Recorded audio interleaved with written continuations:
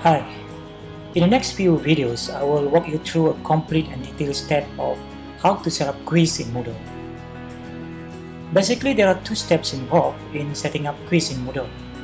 The first step is to, to set up a question pool or question bank and as part of this step, we will create questions in various categories.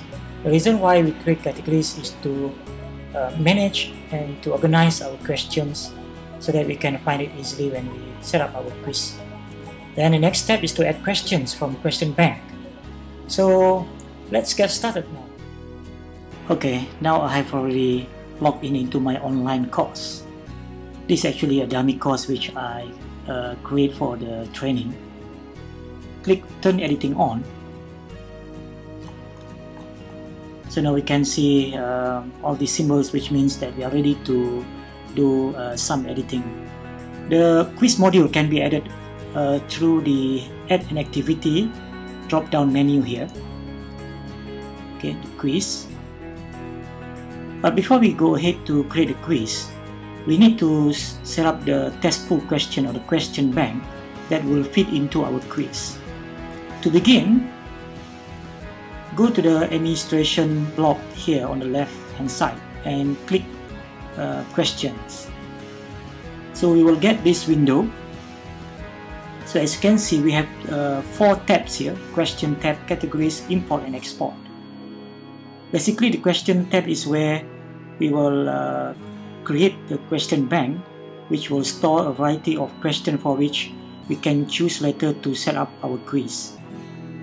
The categories tab is where we create uh, various categories for our quiz. It's like uh, creating uh, subfolders, different subfolders for our uh, files. The import tab is where you can import the external file. Um, for example, if you have a paper-based questions or a text-based question which uh, you save in a Word file, you can import this into Moodle. Then the export tab is uh, you can uh, use this one to export your, your questions to a file. Creating question categories and subcategories is a good practice. It is better than keeping all your questions in one big list in the quiz module. You can imagine a question category as a folder on your desktop computer. In Moodle, questions are stored in these categories in a similar way as your files are stored in a file system. The default category is automatically set up for us by Moodle as you can see the name of the, course here. This is the top or parent category or the main folder if you like. Current, currently there is no subcategories other than the top level category here because uh, we have not created one. So now let's create the first uh, subcategory. In this example, for my dummy course, I will create a category called food gums oops, and stabilizers.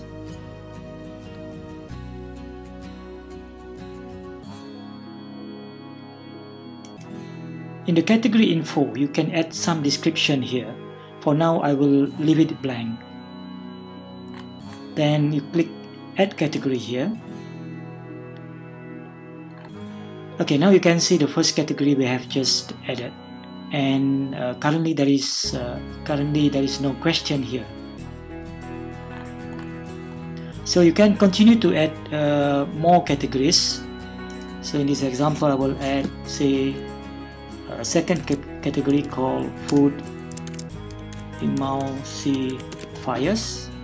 Then click add category. Then another category called say food uh, flavorings.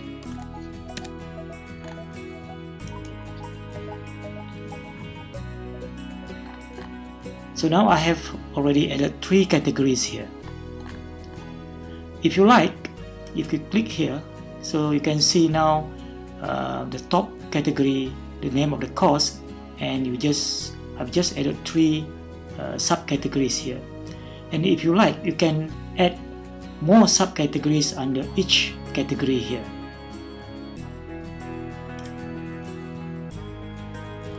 So notice that we have created uh, three categories and in each category uh, the, the number in bracket here means that we have not added any questions here. So that will be our next task.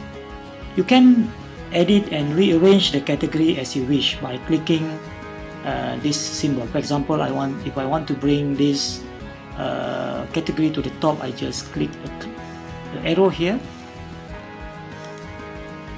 So now I have this category food gums and stabilizers as the top category. So now we have uh, our categories for the question bank to fit into.